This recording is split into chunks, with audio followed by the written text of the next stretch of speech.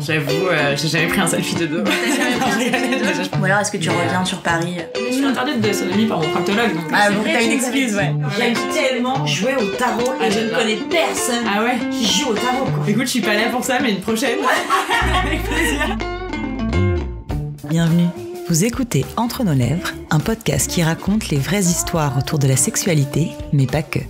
Nous sommes Céline et Margot, et aujourd'hui nous accueillons une nouvelle invitée, Rose.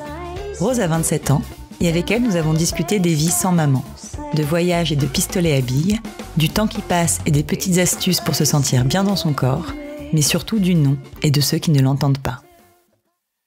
Avant de commencer l'épisode, nous tenions juste à vous avertir que celui-ci racontera une expérience traumatisante et pourrait être difficile à entendre pour une jeune auditrice ou un jeune auditeur, ou pour une personne, comme Rose, victime de viol. Si tel est votre cas, peut-être vaudrait-il mieux patienter jusqu'au prochain épisode ou l'écouter à un autre moment quand vous serez préparé. Pour les autres, on vous souhaite une belle écoute. C'est parti. Alors, est-ce que ça te plaît d'être une femme? Oui, mais ça m'a pas toujours plu. J'ai très longtemps voulu être un garçon, j'ai pensé du moins plusieurs fois, parce que je me suis souvent sentie limitée dans ce que je pouvais faire en tant que femme, notamment lors de mes voyages par exemple, ça m'est arrivé, parce que j'aime beaucoup voyager seule, et que durant certains voyages, euh, je me suis parfois sentie en insécurité à cause du regard des hommes ou de leur comportement. Et à côté de ça, j'entends un ancien pote à moi qui a déjà fait un voyage en Amérique du Sud, qui l'a fait entièrement en stop, en proposant à chaque fois en échange de cuisiner et puis de dormir chez l'habitant. Et dans ces moments-là, je me sens vraiment limitée en tant que femme où je me dis mais jamais j'aurai l'opportunité de faire ça parce que j'ai beaucoup plus de chances que lui que quelque chose m'arrive si je vais dormir chez des gens en échange d'un dîner. C'est quoi pour toi être féminine? Je crois qu'en fait, je me suis jamais considérée comme féminine et que j'ai souvent tendance à parler de certaines filles en disant les vraies filles. Je pense que l'image de la féminité pour moi, ça a toujours été la fille euh, qui est un peu euh, un peu précieuse, alors que aujourd'hui, euh, je, je me rends compte que moi aussi, je suis une vraie fille et que la féminité, il y en a pas une description, enfin une définition. Est-ce que tu sais si tes parents, ils étaient heureux d'avoir une fille? Je sais pas du tout. On m'a jamais dit. Par contre, j'ai, il y a eu une période de ma vie où euh, j'ai beaucoup pensé que mon père aurait préféré avoir un garçon. Ma maman est décédée euh, quand j'avais 5 ans. J'ai grandi seule avec mon père. Et quand mon père a rencontré quelqu'un d'autre, euh, donc 12 ans plus tard, du coup j'étais adolescente, cette femme avait un fils qui avait à l'époque 12 ans. Et quand j'étais plus jeune, mon père n'a jamais vraiment joué avec moi. Et quand cet enfant est arrivé dans la famille, ils ont commencé à faire plein de choses ensemble. Mon père est très bricoleur, euh, il aime bien réparer les choses, etc. Et euh, souvent, avec cet enfant, ils travaillaient ensemble, ils faisaient des trucs ensemble. Et comme quand j'étais plus jeune, j'ai eu une période où j'étais un peu garçon manqué. J'aimais bien acheter des jogging, euh, des baskets, euh, jouer avec euh, des pistolets à billes, etc.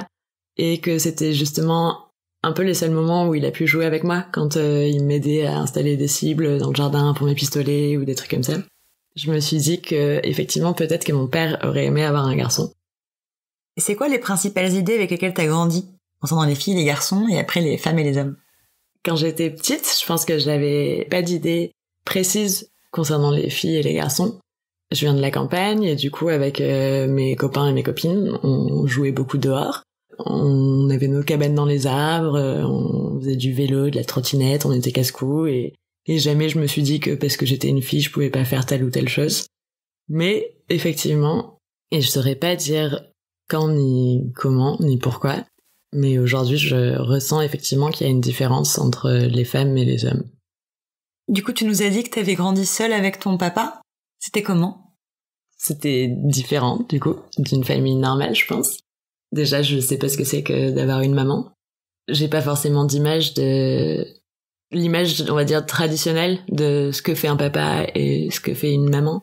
Du coup, chez moi, c'était mon père qui faisait tout, le ménage, la cuisine, etc. Donc, j'ai pas cette image de du partage des tâches qu'il peut y avoir dans d'autres familles, par exemple.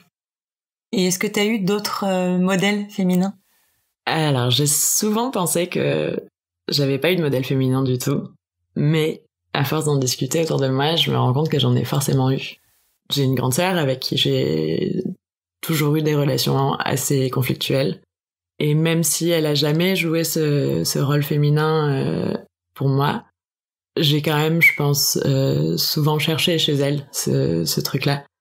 Le problème, c'est que comme on avait des relations très conflictuelles, elle s'est aussi beaucoup cachée de moi. Je l'ai jamais vue s'épiler ou parler de règles ou euh, des choses comme ça, donc j'avais pas vraiment cette image-là à la maison en tout cas.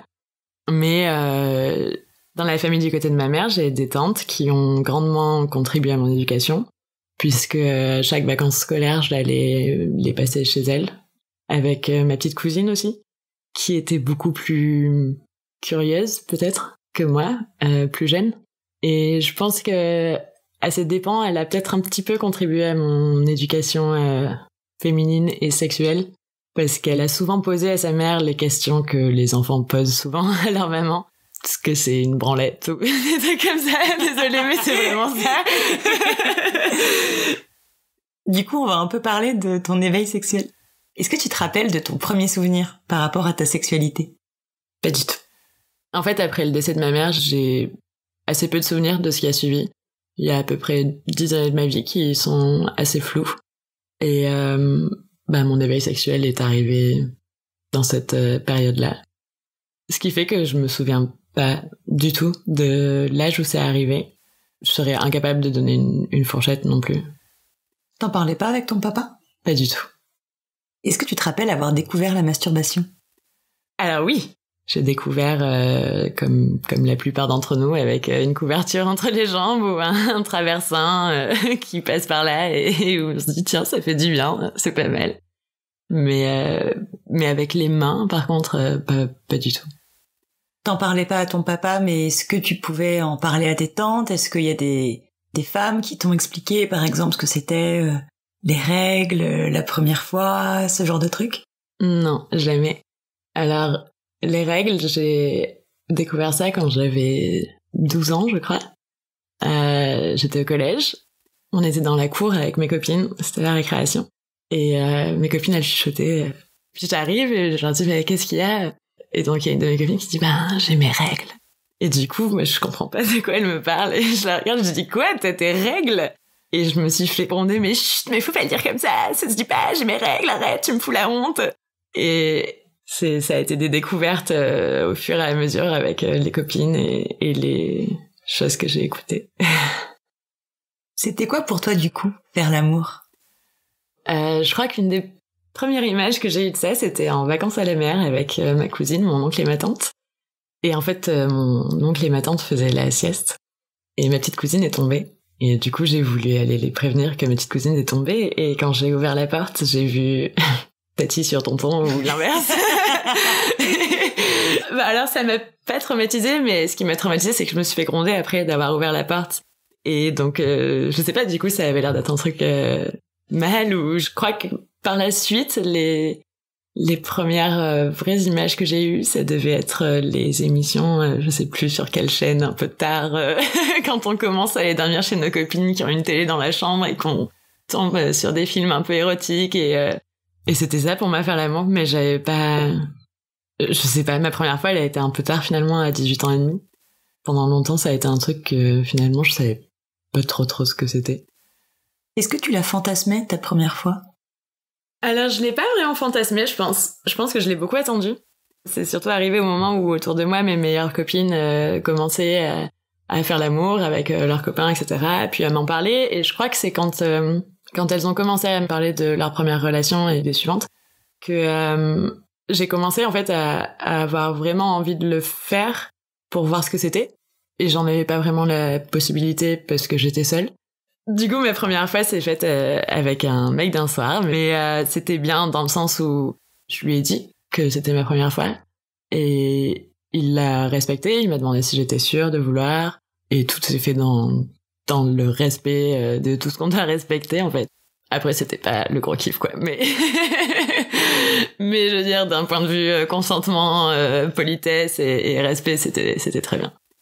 Faire l'amour, ça a changé un truc pour toi ou pas Par rapport à la façon dont tu te définissais? Non, parce que euh, j'ai pas pris de plaisir du tout au début pendant longtemps, en fait. j'ai cru que j'étais frigide pendant à peu près trois ans, je crois. En fait, quand j'étais euh, encore vierge, j'ai développé une MST qui s'appelle euh, Gardnerella vaginalis, si je me souviens bien du nom. Et quand j'avais des rapports sexuels, je, je mouillais pas, ou très peu.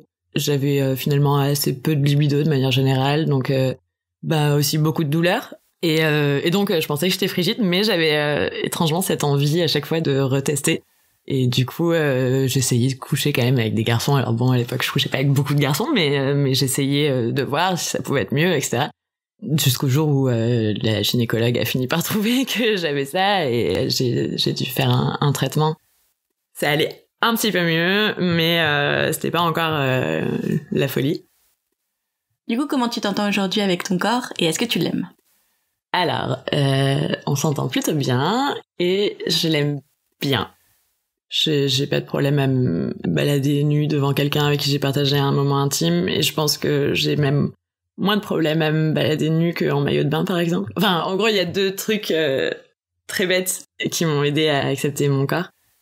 Le premier, c'est que j'ai commencé euh, au bout d'un moment où, bah, à l'époque où j'étais complexée, que j'osais pas me lever toute nue pour aller faire pipi ou des choses comme ça. J'ai commencé à visualiser une image, euh, je sais pas, des fesses qu'on voit dans des films, une fille super bien foutue qui se lève et qui sort du lit euh, avec ses belles fesses et tout, et à me dire, ben là, il voit ça. Et en fait, c'est con, je sais qu'il voit pas ça, mais je faisais mon chemin pour aller aux toilettes en me disant, là, il voit ça, et, ça me donnait une confiance de dingue, c'était, ça marchait. Et je pense qu'en fait, de toute façon, euh, après, je me suis aussi dit que le fait d'avoir partagé quelque chose et de te voir nue, il te trouvera forcément belle.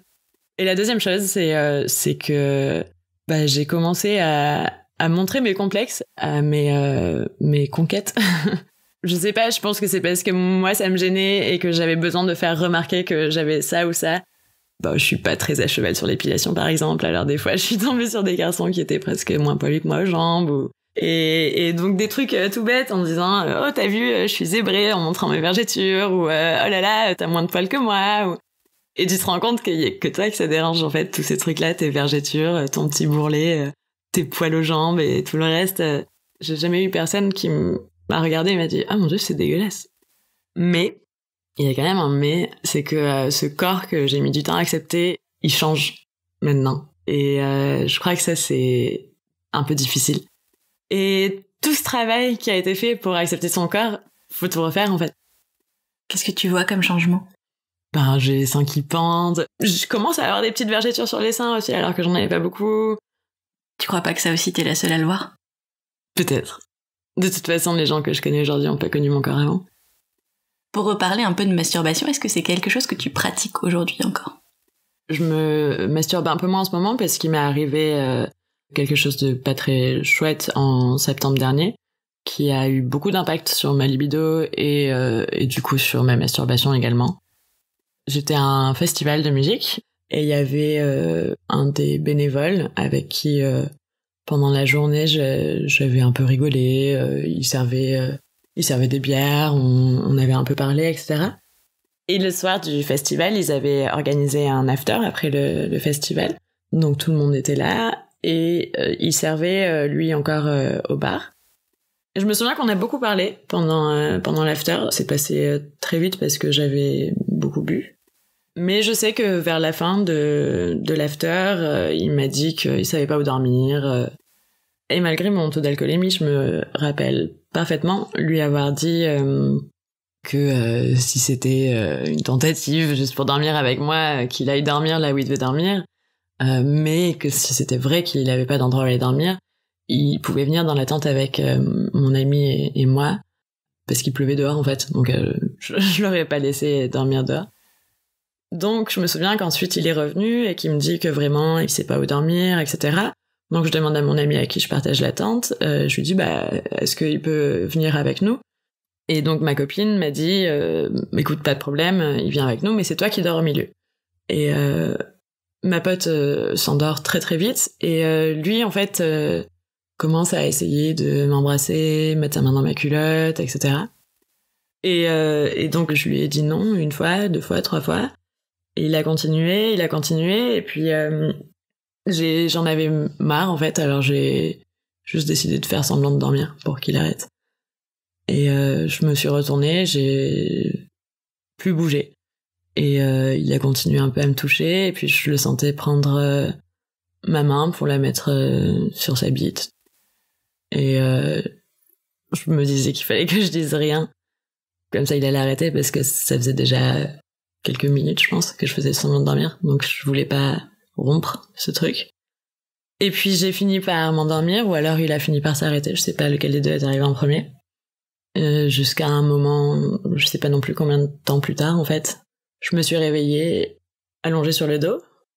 Et la première chose que j'ai vue, c'est la tente qui était vachement plus près de moi. Donc j'ai compris que j'étais pas au milieu de la tente, en fait.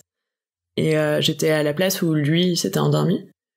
Et j'étais en train de prendre du plaisir. Et il avait sa main dans ma culotte, il était en train de me toucher. Et en fait, j'ai j'ai juste euh, j'ai paniqué, mais j'ai rien j'ai rien dit. J'ai juste la seule peur que j'ai eue à ce moment-là, c'est de réveiller tout le monde autour. Et j'ai juste pris sa main, je lui ai enlevé ma culotte, je me suis recouchée. Et le lendemain matin, euh, je me suis réveillée. Il ronflait à côté de nous, ma pote était réveillée et euh, j'étais un peu perturbée, mais euh, pas pas tant non plus. Juste euh, ce qui m'avait le plus perturbée, c'était de m'être réveillée du mauvais côté de la tente avec sa main dans ma culotte et de pas comprendre en fait même comment j'étais arrivée sur ce côté-là de la tente finalement. Mais du coup, je sais que j'ai dit la seule chose que j'ai dit à ma pote en me réveillant, c'est oh bah dis donc, mais avec beaucoup de légèreté. Ouais, dis donc, je comprends pas. Je me suis réveillée en pleine nuit, sa main dans ma culotte. euh.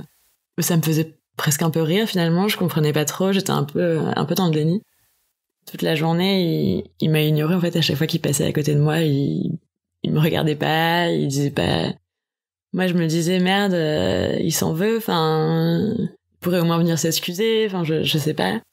Et puis ben on rentre chez nous. euh, et en fait pendant une semaine j'en ai j'en ai parlé à personne. Je crois que dans le fond je savais que c'était un, un petit peu grave, mais que j'avais pas très envie de me l'avouer. Et au bout d'une semaine j'en ai parlé à deux copines. Elles étaient très choquées en fait. Et je crois que ce qui m'a fait le plus mal c'est quand une des deux m'a regardé en me disant mais euh, c'est du viol en fait. Et euh, ça a été très dur pour moi de coller cette image enfin ce mot sur euh, ça parce que c'est lourd en sens mais en même temps ça m'a fait me rendre compte que c'était pas normal enfin que c'était grave en fait que je me réveille en, pleine nuit avec euh, ses doigts dans ma chatte ou euh, ou même tout ce qu'il a fait avant. Et quand elle m'a dit ça je on était dans un bar je me suis levée je suis allée aux toilettes et j'ai pleuré. Et j'ai pensé à vous. Parce que parce que ce podcast m'a moi-même fait beaucoup de bien et, et euh, j'avais envie de vous parler de consentement et vous parler de en fait euh, j'avais honte d'en parler à mes amis et j'avais besoin d'en parler et vous étiez un peu comme mon psy à ce moment-là et du coup le lendemain je vous avais envoyé ce grand mail euh, avec toutes mes grandes questions sur le consentement et sans vous raconter en fait ce qui s'était passé mais juste en vous disant que finalement dans ma vie euh, j'avais eu trois relations sexuelles où j'étais pas consentante finalement, où j'en avais pas envie, où j'ai dit non, ou alors j'ai juste rien dit. Après ça, j'ai passé peut-être un mois à écouter tous les podcasts possibles et imaginables sur le consentement, à aller voir des articles, à lire des définitions du viol, à, me renseigner sur tout ça, à me demander ce qui m'était vraiment arrivé, si on devait vraiment mettre un mot dessus, si c'était vraiment un viol, si c'était pas un viol, où sont les limites du consentement. Ça m'a tellement travaillé qu'au bout d'un mois, j'ai décidé de lui écrire. Je l'ai retrouvé sur Facebook, grâce euh, à l'événement du festival. Je lui en voulais pas tellement parce que je pensais pas que c'était une très mauvaise personne. J'avais conscience que, que lui aussi avait bu, que euh, on l'avait peut-être pas vécu de la même manière. Moi, au bout d'un mois, j'avais beaucoup de mal à m'en remettre et ça me travaillait beaucoup et j'avais envie de lui expliquer en tout cas comment moi je l'avais vécu. Et surtout, j'avais envie de lui expliquer ce qu'il avait fait pour pas qu'il le refasse et qu'il ait conscience de ce qu'il avait fait. Et du coup, je lui ai envoyé un long message sur Facebook. Est-ce que tu veux bien nous le lire? Oui. Nicolas, tu dois être bien surpris de recevoir ce message. J'espère malgré tout que tu prendras le temps de le lire. Aujourd'hui, j'ai décidé de t'écrire en espérant que mon ressenti t'aide à réfléchir à tes actes, en espérant être la dernière pour toi. Si le reste est un peu flou, je sais, et je le sais avec la plus grande des certitudes, que lorsque tu m'as dit que tu ne savais pas où dormir ce soir-là, ma réponse était plutôt claire. Si vraiment tu ne sais pas où dormir, tu peux venir avec nous. Mais si c'est un vieux plan foireux, va dormir là où tu es censé dormir. Il n'y a donc rien à lire entre les lignes. Il me semble que c'était assez clair, que ça veut dire non. Alors aujourd'hui, j'aimerais parler de consentement avec toi. Je sais à quel point cette limite peut être floue, surtout quand tu as bu, surtout quand tu as en face quelqu'un d'humain, capable de désirer, de ressentir du plaisir. J'avais, par des paroles assez claires à mes yeux, essayé de te faire comprendre que si tu venais dormir avec nous, c'était seulement parce que tu n'avais nulle part où aller et que dehors, il pleuvait. Visiblement, on s'est mal compris. J'imagine que c'est parce qu'on s'est dragué avant. T'es mignon, marrant, ça ne fait presque aucun doute. Néanmoins, peu importe ce qu'il se passe, peu importe la séduction, tu dois savoir que si j'en avais eu envie, si j'avais eu envie de quoi que ce soit de plus avec toi ce soir-là, je te l'aurais dit. Je t'aurais dit, oui, viens dans ma tente, même si tu sais où dormir. Bref, tu as décidé de venir. Peut-être n'avais-tu réellement pas d'endroit où dormir. Dans tous les cas, Nicolas, j'aimerais te dire que je n'avais pas envie, ni que tu m'embrasses, ni que tu me touches. Alors oui, tu as raison si tu le penses, j'ai fini par accepter de t'embrasser au milieu des multiples arrêtes que j'ai prononcées. Oui, j'ai pris du plaisir à certains moments, mais pas parce que j'en avais envie, juste parce que moi aussi, j'ai un corps capable de désirer et de ressentir ce qu'on lui fait. J'aurais aimé que tu m'écoutes quand je te disais d'arrêter. J'aurais aimé que tu arrêtes avant que je dorme, ou devrais-je dire, avant que je fasse semblant de dormir. Tu ne m'écoutais pas, alors j'en suis arrivée là. J'en suis ainsi arrivée à te sentir prendre ma main pour la poser sur ton sexe, plusieurs fois, en me disant dans ma tête de ne surtout pas bouger, car tu allais forcément finir par arrêter. Il me semble que ça a fonctionné, ou peut-être me suis-je réellement endormie trop tôt, je ne sais pas. Je sais que j'ai fini par dormir, pour de vrai. Et c'est là que tu es allé trop loin. Aujourd'hui, je ne comprends toujours pas comment j'ai pu me réveiller de l'autre côté de la tente. Je ne comprends toujours pas comment j'ai pu me réveiller avec ta main dans ma culotte, en train de me toucher alors que je dormais. Je ne comprends pas non plus pourquoi je ne t'ai rien dit à ce moment précis, ni le temps que j'ai mis à comprendre que c'était grave. Aujourd'hui, Nicolas, je peux te dire que tu m'as arraché ma confiance en moi, dérobé mon corps et pris mon désir en otage. Je ne parle pas ici du soir en question, mais de l'impact que tu as eu sur moi, de mon état ce dernier mois. Si je t'écris ce message, ce n'est pas pour t'accuser bêtement et te faire regretter. C'est seulement parce que j'aimerais que tu comprennes ce que tu as fait. Que non, ça veut dire non. Que se taire, ce n'est pas toujours accepté. Que quelqu'un qui dort n'est pas consentant. J'aimerais aussi t'inviter à lire la définition du viol dans le code pénal, qui dit que tout acte de pénétration sexuelle, de quelque nature qu'il soit, et par quelque moyen que ce soit, commis sur une personne qui n'y consent pas, constitue le crime de viol. Je suis forte et je sais que je vais vite réparer ce que tu as brisé en moi. Néanmoins, autant que j'espère avoir été la première, j'aimerais aussi être la dernière que tu n'écoutes pas. Est-ce qu'il t'a répondu? Oui. Et, euh, et j'ai trouvé sa réponse très chouette. J'avais très peur, surtout en lui écrivant, qu'il reconnaisse ou assume pas du tout ce qu'il avait fait. Il m'a proposé de m'appeler pour en discuter parce qu'il comprenait pas très bien ce qui s'était passé. Donc on s'est appelé et euh, il était désolé au point où il osait presque pas me dire qu'il était désolé parce que il disait que c'était pas assez en fait des excuses par rapport à ce qu'il m'avait fait. Il a rien nié de ce que j'ai dit dans mon message. Il m'a dit qu'il qu'il se souvenait pas vraiment parce qu'il avait bu, qu'il pensait que on s'était euh, chopé. Il était dévasté d'avoir euh, à l'idée d'avoir pu faire ce qu'il avait fait. C'était perturbant parce qu'il s'en voulait tellement que c'est moi qui ai fini par lui dire qu'il fallait pas qu'il culpabilise toute sa vie de ça parce que moi j'allais aller mieux. Tout ce dont je voulais m'assurer en fait avec ce message, c'était qu'il soit plus bienveillant à l'avenir et qu'il refasse jamais ce qu'il avait fait, que si quelqu'un lui dit non, c'est non. Si quelqu'un dit rien, ça peut aussi être non. Et juste qu'il recommence pas ce qu'il avait fait. Ça m'a rassuré de me dire qu'il le referait pas, et en même temps j'ai quand même encore pris beaucoup de temps après ça, avant de ne serait-ce que me toucher déjà, et de recoucher avec quelqu'un. Encore aujourd'hui, j'ai un peu de mal. Ça revient tout doucement. Mais, euh, mais ça va, ça va aller. Aujourd'hui, j'essaye de, d'être aussi beaucoup plus à l'écoute de ce dont j'ai envie et surtout de faire comprendre à mon partenaire ce dont j'ai pas envie. J'ai rencontré quelqu'un il y a pas très longtemps avec qui ça se passe très bien. J'ai des douleurs qu'avant j'avais pas forcément. Et je pense que c'est d'ordre psychologique plus qu'autre chose. Mais j'en ai conscience et, et du coup j'essaye de, de m'écouter et euh, de saisir les petits moments où euh, j'ai un regain de libido en me disant qu'il faut en profiter de ce moment-là et, et dans ce moment-là ça fonctionne super bien. Et le reste ça reviendra tout seul après. Et qu'est-ce que t'attends de ton partenaire aujourd'hui? Je pense avant tout qu'il me respecte. Mais euh, plus que ça, euh, je sais pas, qu'il me rende heureuse, que tout se passe bien, qu'il soit à l'écoute, Moi, j'ai jamais eu. euh, J'ai été amoureuse une fois, mais euh, j'ai jamais rien projeté avec quelqu'un. J'ai jamais rien construit avec quelqu'un. J'ai jamais vécu avec quelqu'un. J'ai jamais partagé un, un quotidien avec quelqu'un. Du coup, tu tombes pas facilement amoureuse. C'est pas que ça marche pas. Je suis pas insensible. Je m'attache aux gens et euh, je crois que j'ai beaucoup d'amour à donner d'ailleurs. Mais je crois que c'est ma mon espèce de peur des relations et et de, la douleur que ça entraîne en fait qui fait que je me dirige seulement vers euh, des personnes qui sont pas prêtes à avoir des relations. Puis au bout de trois semaines, un mois, ils me disent tous la même chose, qu'ils sont pas prêts à avoir une copine, etc. Et en fait, je répète toujours le même schéma. Puis une fois que tu l'as fait dix fois, vingt fois, ou enfin j'exagère, j'ai pas fait vingt fois, mais tu commences à te demander si c'est vraiment eux qui ont tous un problème ou s'il y a pas aussi quelque chose qui est lié à toi. Et pourquoi Est-ce que c'est dix ans de malchance, de mauvais timing? Est-ce que c'est toi qui te diriges essentiellement vers les mauvaises personnes?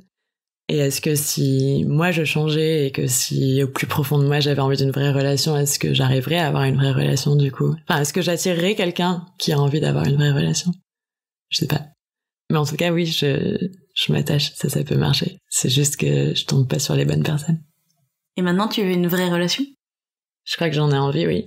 Mais euh, il va falloir me prendre par la main. C'est l'inconnu, en fait, pour moi. Mais euh, avec une belle personne qui sera patiente, ça peut marcher. Du coup, la question de la fin, elle est un petit peu différente, puisque tu as déjà dit pourquoi tu nous avais écrit. Mais euh, qu'est-ce que tu avais envie de faire passer comme message euh, aujourd'hui? J'avais surtout envie de parler du consentement, parce que les limites peuvent être très floues, et que c'est un sujet qui porte à débat. Que moi, cette histoire, elle m'a fait réaliser qu'il y a beaucoup de choses auxquelles j'aurais déjà dû dire non avant. Et parce que j'espère aussi que il y a peut-être des hommes qui vont écouter ce podcast et qui vont apprendre à, écouter le non.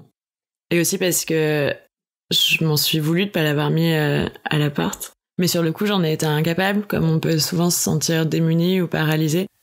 Et parce que moi, pendant tout le mois où, j'ai beaucoup réfléchi, où je me suis beaucoup renseignée, je me suis aussi rendu compte que j'étais pas seule.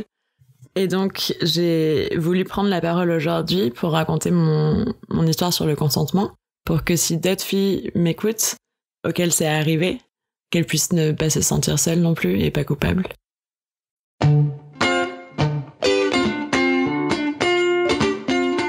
Merci à toutes et à tous d'avoir écouté cet épisode d'Entre nos lèvres. Pour celles et ceux qui ressentiraient le besoin d'en discuter, nous vous conseillons d'en parler à vos parents, à un ami, à un conseiller scolaire ou à un adulte auquel vous faites confiance. Vous pouvez aussi bien évidemment nous écrire à hello at entrenoslèvres.fr. Et pour ne pas rater le prochain épisode, pensez à vous abonner. Vous pouvez également nous suivre sur Instagram, Facebook et Twitter, Entre nos lèvres, ou sur notre site internet entrenoslèvres.fr où nous écrivons aussi. N'oubliez pas non plus de vous inscrire à notre super newsletter. Tous les 15 jours, à l'annonce du nouvel épisode, on partage avec vous 5 chouettes recommandations. Des livres, des films, des articles. Tout ce qui nous a plu ou touché ces derniers temps. Promis, c'est cool. Ah oui, et puis la musique du générique a été composée par Martin de Bauer. Allez, à dans 15 jours.